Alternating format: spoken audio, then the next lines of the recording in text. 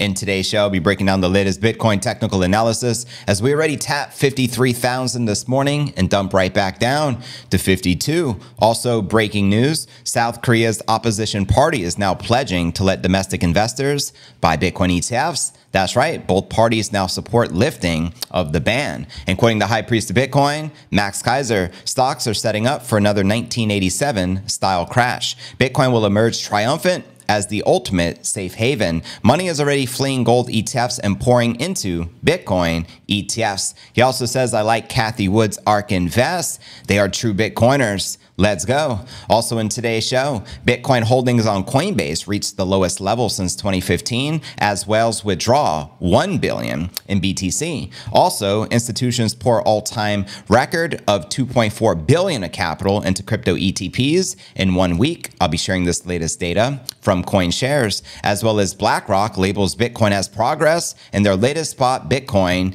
ETF ad, as well as rich dad Robert Kiyosaki expects Bitcoin to smash $100,000 per coin by June of this year.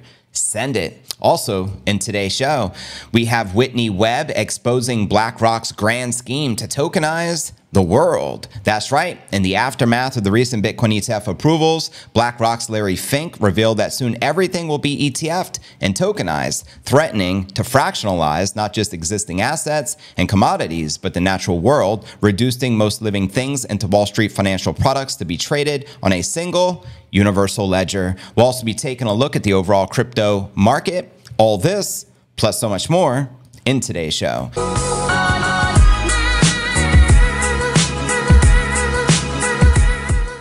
But anyways, fam, if you're new to the channel, be sure to smash the subscribe button to receive daily premium crypto news alerts every day, just like this. Also important to smash the like to help pump the stream as it helps out tremendously with the YouTube algorithm. Today is pod episode number 1557. I'm your host, JV, rocking the number 11 as we do. And uh, yeah, today is February 20th, 2020 four. There's only like 56 more days until the halving, the biggest event that occurs every four years in the crypto sphere. Let's kick it off with our market watch. This morning, we were like, you know, down. And then before I went live, we tapped 53. Then we corrected. We're currently sitting just above 51,800. We have Ether, which almost touched 3,000, maybe on some of the exchanges it has already. It's continuing uh, to pump, while Solana, Cardano, BNB, and XRP are all pulling back and uh, in the red. And let's zoom out on the monthly to get a more broader perspective.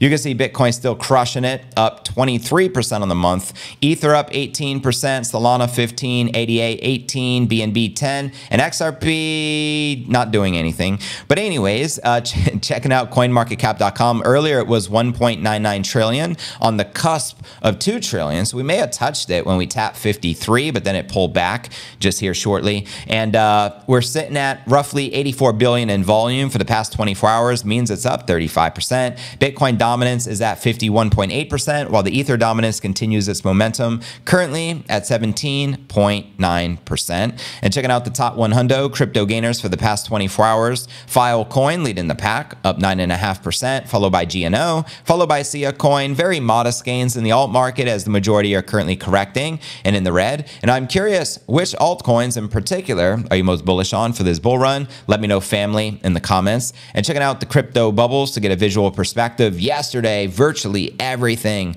was in the green. Well, today, now we're pulling back. Correction. As you can see, the overall altcoin market correcting in the red with a handful still in the green and zooming out on the monthly. Still overall pretty fantastic month, not just for Bitcoin, but for the entire cryptosphere. And checking out uh, the crypto greed and fear index shows we're currently rated a 72 greed. Yesterday 75, last week a 79 extreme greed, the highest we have seen this in a couple of years. And last month a 56 in greed. And checking out the Bitcoin halving countdown clock, we only have 56 more days, family, until the estimated halving taking place scheduled to be April 17th. Again, less than two months out. Where do you feel the Bitcoin price action is likely to be by the time of this halving? Let me know in the comments, family. But anyways, let's dive into our Bitcoin technical analysis. Check out the charts where the Bitcoin price action is likely to take us next. As you can see here, Bitcoin dipped into intraday lows February 20th as a public holiday in the US limited the buy demand. Yesterday was President's Day, Abe Lincoln's birthday, so the traditional markets were closed. Here you're looking at the Bitcoin one hour chart. Data from TradingView tracked the Bitcoin price floor of 51.3 on Bitstamp. An otherwise flat start to the week ended in cold feet for Bitcoin after the February 19th daily close. But a recovery subsequently took the market back to 52. And in fact, uh, just a few hours ago, we hit hit 53 before dumping right back to where we started at around 51.5. Wall Street was closed the day prior, thanks to President Day, uh, meaning there were no new inflows into the spot Bitcoin ETFs, which were recorded. And as this continues, these inflows have uh, consistently buoyed the market sentiment in the recent weeks, creating a positive feedback loop as others attempt to front run the institutions by buying Bitcoin in advance. In a recent commentary, Material Indicators suggested the long weekend would allow the price action to simmer down a bit after the recent rapid gains. And ahead of the intraday dip, another post laid out the potential lower targets should the bears gain the upper hand. Quoting him here, if Bitcoin doesn't bounce from here, consider the door to 51,000 opened. And if that doesn't hold, look to 50,000, then 48.6 for the next levels of support. If those don't hold, things can get very exciting in the short term. Long term outlook,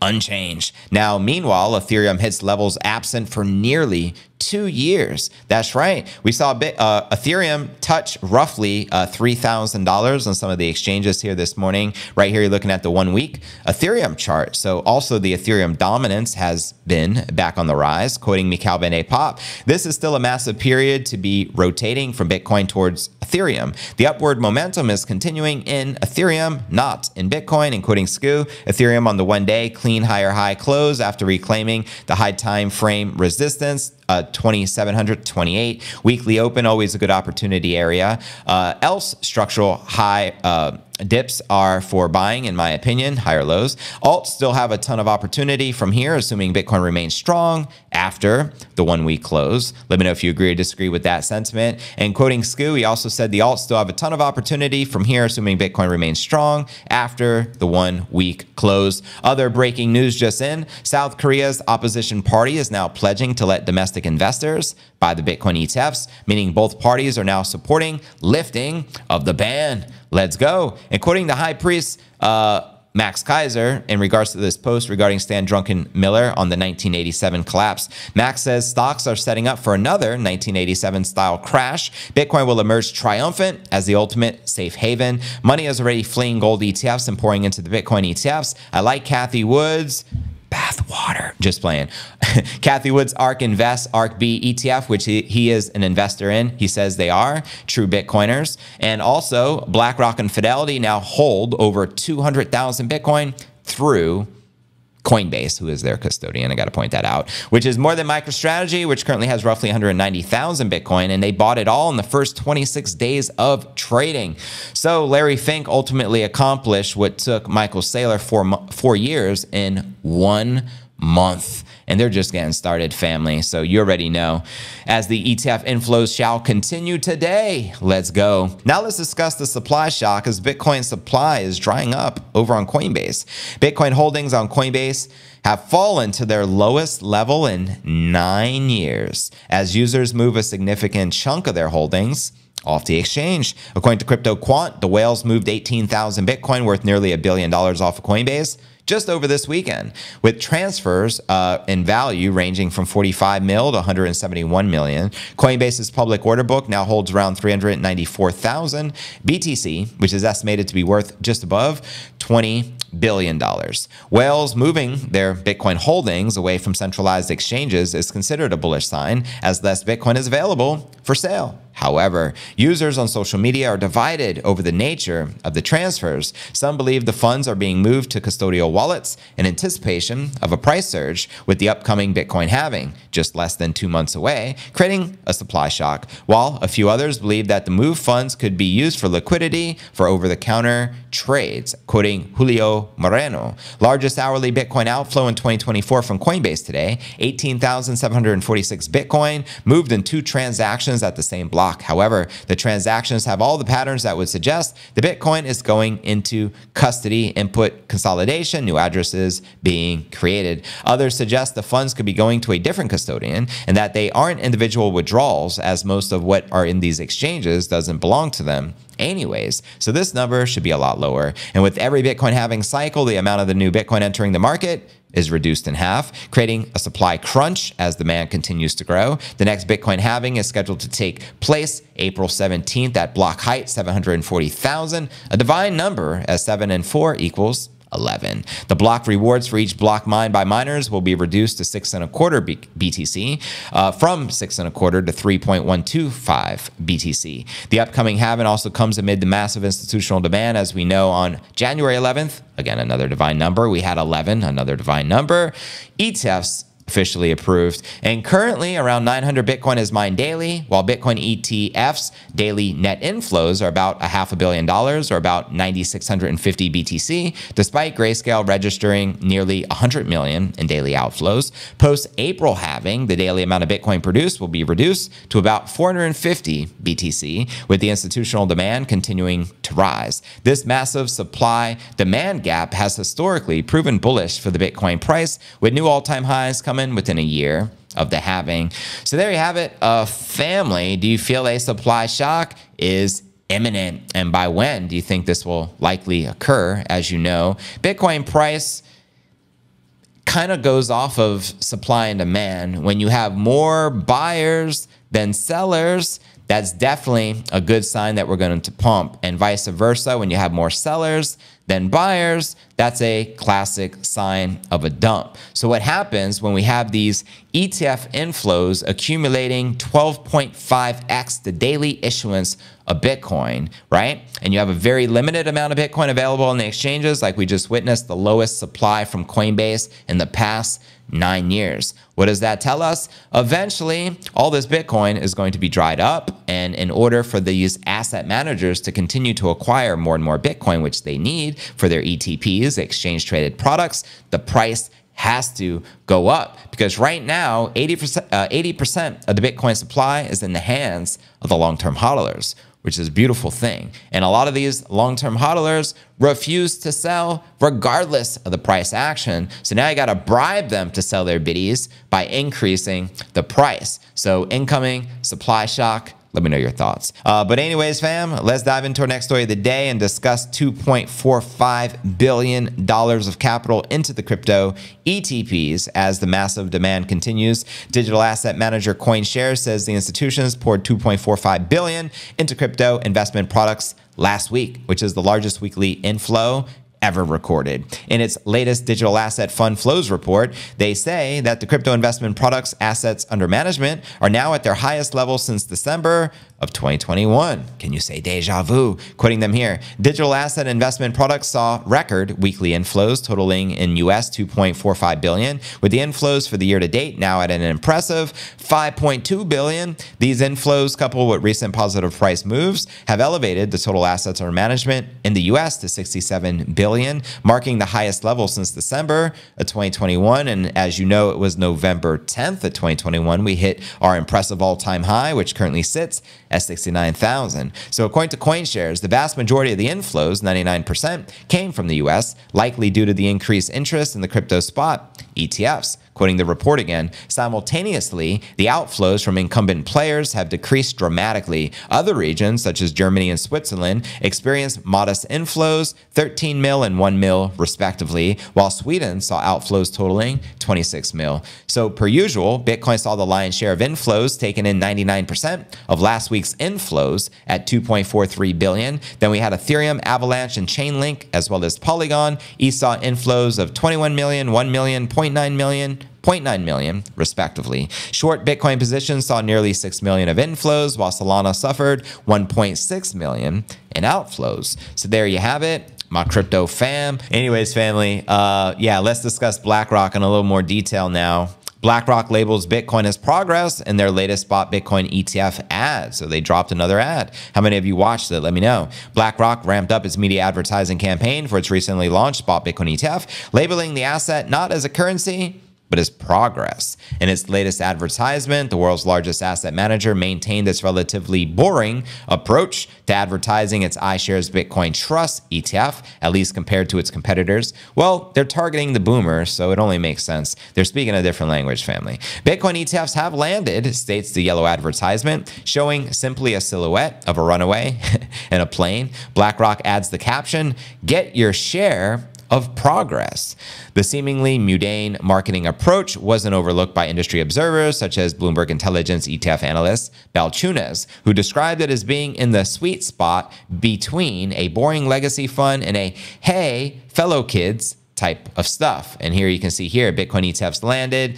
IBIT, the iShares Bitcoin Trust, now lets you access Bitcoin, where you get your stocks and bonds so you can manage all of your investments in one place. Get your share of progress. So he added that the firm was on the brink of pulling away as the category liquidity king. So going for the kill with more advertising makes sense. Adding the following interesting, they equate Bitcoin not with a commodity or a currency, but with progress. And quoting Eric Balchunas, new iBit ad just dropped. In my opinion, simple, modern, effective, and a sweet spot uh, for the boring legacy fund, co-ad, and strong advisor-friendly vibes. BlackRock on the brink of pulling away as the category liquidity king, going for the kill with more ads only makes sense. Now, the firm also mentions how the ETF standardizes uh, the Bitcoin, making it like stocks and bonds in a portfolio. BlackRock's first ETF advertisement, released January 11th, also took the mature approach, targeting the affluent boomer market. Since the product launch, BlackRock has seen inflows of 5.3 billion to the IBIT ETF, according to Farside.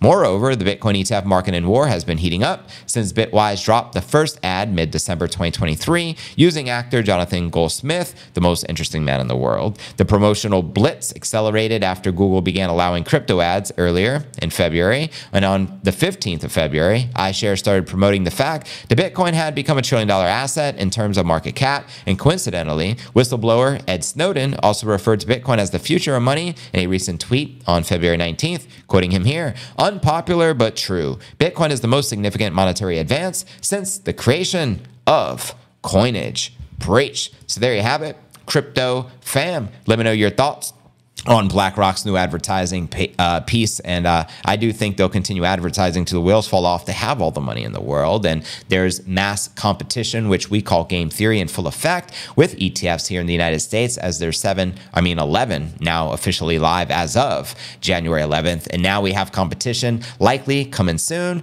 out of Hong Kong, which we have discussed. The first ETF applicant has already been submitted. And we also have uh, hype surrounding El Salvador with ETFs coming out, which are going to be different than all the other ETFs currently available, which means Bitcoin in, Bitcoin out, which doesn't exist currently. All right, let's now discuss Kiyosaki Rich Dad projecting 100,000 Bitcoin price target by June, which is right around the corner, which would be pretty lit. That would obviously be post halving. And then we'll be discussing the latest from Whitney Webb and BlackRock's Endgame as we blow the whistle on their true agenda, and then we'll do some live Q and A. If you're just joining the stream, pump the likes to pump the stream. I greatly appreciate that, family. So yeah, Rich Dad uh, recently shared on X Bitcoin to 100,000 by June 2024, got over 3.2 million views, and that was just shared two days ago. So he ultimately expects Bitcoin and silver to take off while gold will crash below $1,200 an ounce which is interesting considering how bullish he has been on gold over the past few decades. So, where's the gold price right now? I'm going to speculate 2000, but correct me if I'm wrong, family. Let me know in the chat. So, he's ultimately anticipating a $800 gold crash. Let me know if you agree. The acclaimed author has also been issuing warnings about the US economy, likening its potential collapse to that of the Roman Empire without expecting a soft landing. He has additionally forecasted imminent crashes in both the stock and bond markets.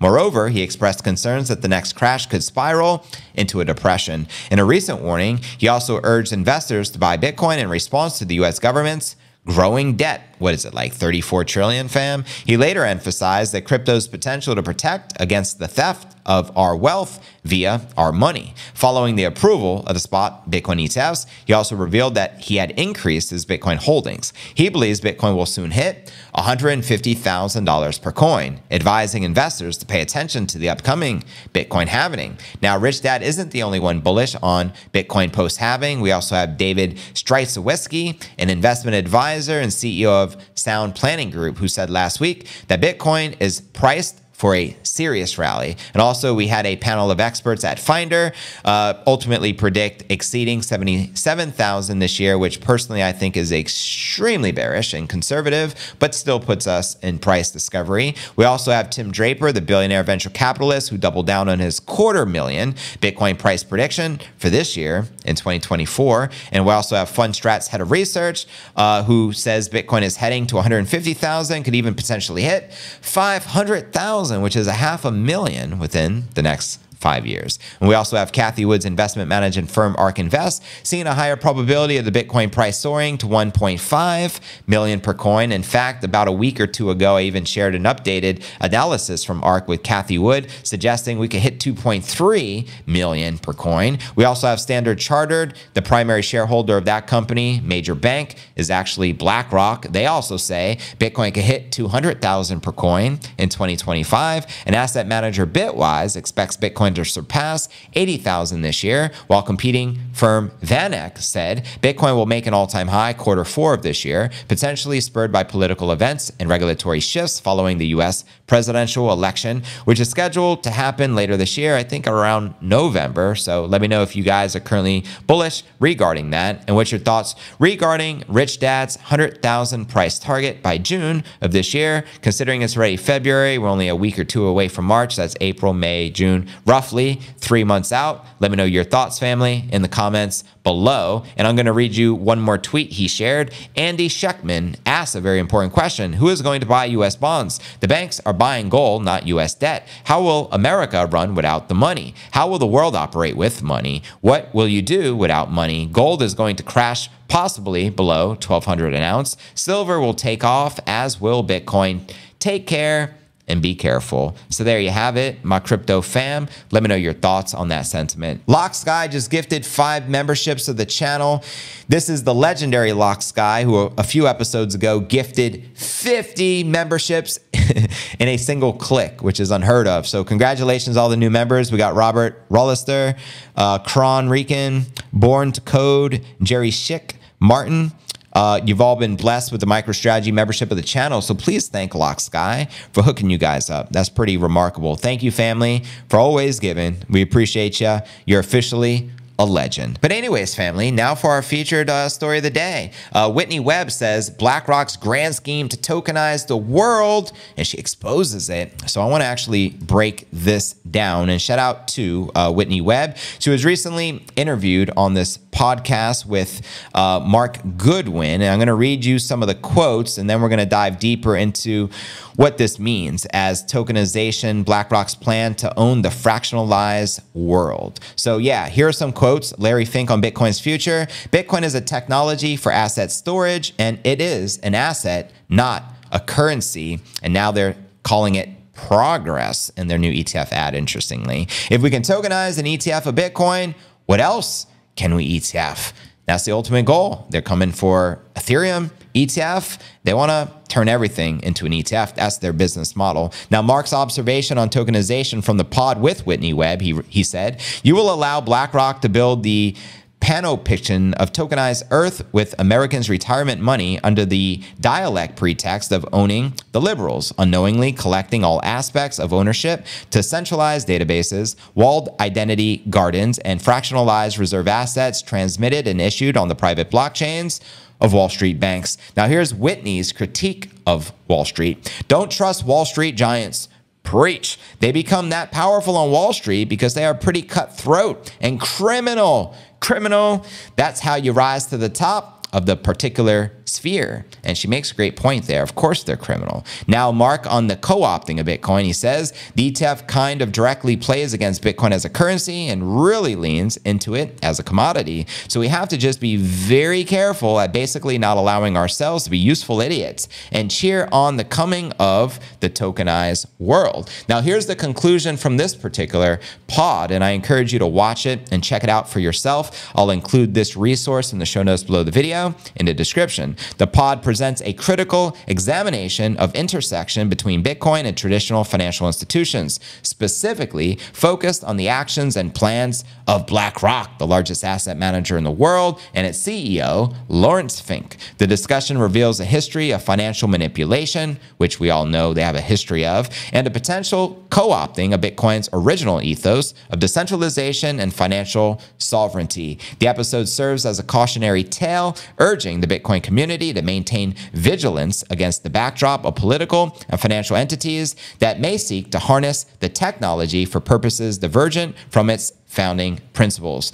Though this reflective narrative, the episode calls for the re-evaluation of the direction in which Bitcoin's integration into the financial system is heading and encourages a steadfast commitment to the core values of privacy, freedom, resistance, and centralized control. Now, I also want to point out, quoting the high priest of Bitcoin, Max Keiser, who has been blowing the whistle and not trusting the government and BlackRock and what they're doing as well. Max says, You are not protected against government seizures, and the U.S. government plans to seize all the Bitcoin ETF Bitcoin in the interests of national security. Now, BlackRock and Fidelity already collectively now hold over 200,000 Bitcoin through custodian Coinbase. At the rate they're going, they're going to soon have millions of Bitcoin in their possession. So, could the ultimate plot be for the US government in the name of national security ultimately confiscate the Bitcoin and replace it with US dollar or CBDC equivalent? What are your thoughts? Quoting Max here. Number one, the government seizes the ETF in the name of national security. Number two, before they send you your USD, the price moves up 100,000. Then you pay tax on the gain from the payout, and with what's left, you buy Bitcoin at a price 100,000 higher. Then the price crashes and now you're sitting on a net losing position from where you started. So keep in mind, Know thy enemy. Anything is possible. And just note this that self custodied Bitcoin is not equivalent to Bitcoin ETF Bitcoin. Because if you don't own the private keys, therefore, it's not your coins. It would be Coinbase's or BlackRock's or whomever is holding the Bitcoin. Now, while the BlackRock chairman was not shy about expressing other aspects of the potential build of tokenized digital markets, these two statements in particular illuminate the coveted path forward for how the biggest institutions intend to be carefully integrated into Bitcoin into the legacy financial system. Larry Fink even went so far to turn the abbreviated noun ETF, an exchange traded fund, into a verb, gloating about transmuting the Bitcoin protocol into just another speculative commodity. All the efforts of miners and nodes across the world to decentralize trust in issuance and settlement reduced to a paper offering by their iShares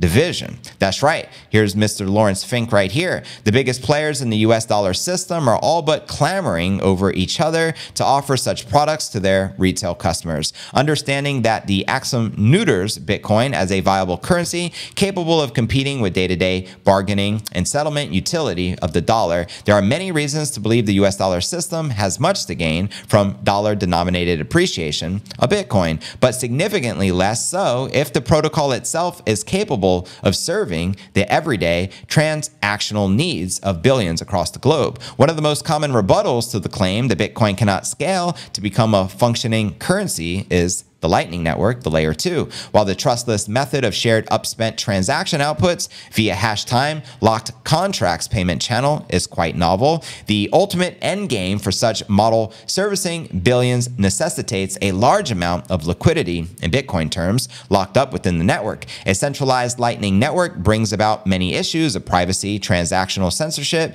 and even user access restrictions, not to mention the mathematical realities of demand for Bitcoin limited block space when opening a billion channels. Now, many fintech companies such as the Lightning Labs and Blockstream have spent millions in capital developing methods for utilizing Bitcoin as a way to issue tokenized assets, such as stable coins like Tether's USDT, in order to transact dollar denominated tokens via Lightning channels or federated sidechains. While the institutional adoption dream by early Bitcoin adopters has certainly come to fruition, the actualization and methods methods of these institutions is clear. Bitcoin must remain an asset, and all effort on scaling is the currency should be directed towards the dollar. Now, Larry Fink himself in the same Bloomberg interview stated, We believe the ETFs are a technology no different than Bitcoin was a technology for asset storage. Bitcoin spot ETF products encourage many practices far outside the norm of the typical Bitcoin user within the near decade and a half of its existence. An example, trusting a custodian